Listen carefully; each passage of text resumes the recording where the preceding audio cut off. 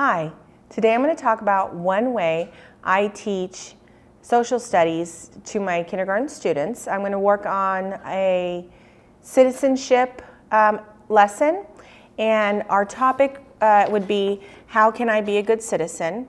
So you can either do this on a chalkboard, or um, a large piece of paper is preferable, or um, a large dry erase board.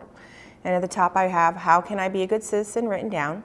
And what we're going to work on is make generating a list of ideas about what a good citizen um, does. Okay, and so some of the questions I talk uh, have with my students are I'll ask the question, what is a good citizen? And I'll kind of define it for them. Um, and then we talk about some things that they do. So, what does a good citizen do? I also ask and talk about how they help our communities, why they're important to our communities, and how they make us better. Um, all of this is helping to um, promote oral language development. And what we're going to do is we're going to save the list that we generate to do a writing activity that goes along with it. And this will also connect to some classroom behavior management activities as well. So what we do is we're going to make a list. And I've started one here that you can look at. We write it up on the board. How can I be a good citizen? And then we're having the discussion with the kids and we're making, adding things to our list like I can follow rules, I can follow the laws, I can make good choices, I can work hard, and I can help others. So after you have that discussion, the kids can do a drawing of something that they can do to be a good citizen, how they can help promote their community. And so this is just a little example. We have the title, How to Be a Good Citizen, and we started with I Can.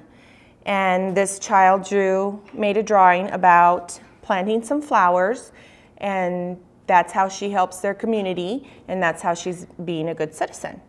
So after the kids do their drawings, an important part is to have them share. So you can have them either share with a partner or share to the whole group and talk about what it is they're doing to be a good citizen. Um, the next thing that you can do is you can help connect this to your classroom management um, and behavior plans for your students.